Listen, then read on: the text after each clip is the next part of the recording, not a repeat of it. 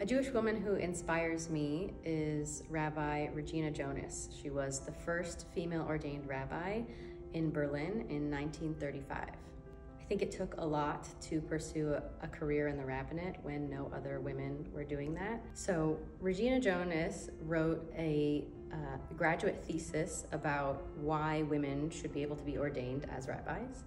And my graduate thesis here at the Ziegler School at AJU was about uh, women writing modern day midrash, uh, modern day rabbinic interpretation. So I really feel like we have this connection through time about our academic interests and uh, wanting to elevate women's voices in the public sphere.